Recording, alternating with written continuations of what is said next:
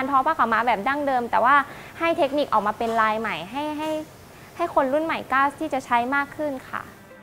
แม่น้ำโขงและโคลน เอกลักษณ์ท้องถิ่นที่น้องแยมสุภัตราแสงกองมีถ่ายญาติผ้าขาวม้า กลุ่มทอผ้าพื้นเมืองบ้านสงอจังหวัดบึงกาฬหยิบมาเป็นไอเดียต่อยอดเข้ากับเทคโนโลยีการทอ ปรับเปลี่ยนการใช้สีจากเคมีเป็นธรรมชาติ เกิดเป็นผลงานผ้าขาวม้าหมักโครนนาคี หลากสไตล์ มีความนุ่ม สวมใส่สบาย ใช้ได้กับทุกเพศทุกวัย เทคนิคในการสับสลับหลอดค่ะ ก็จะทำให้ผ้ามีมิติมากขึ้น แล้วก็การวางลวดลายใหม่ ปรับให้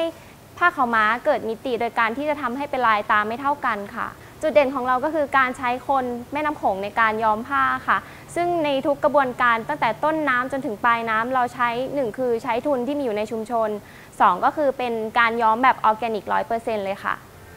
การต่อยอดสร้างสรรค์ผลงานผ้าขาวม้าถือเป็นความสุข ทั้งกับน้องแยมและทุกคนในท้องถิ่น จากรายได้ที่มั่นคง และยังฟื้นการทอผ้าขาวม้าที่หายไปแล้ว ให้กลับคืนมาได้อีก นับเป็นผลงานชิ้นสำคัญของทายาทผ้าขาวม้าจังหวัดบึงกาฬที่เธอคิดเสมอว่า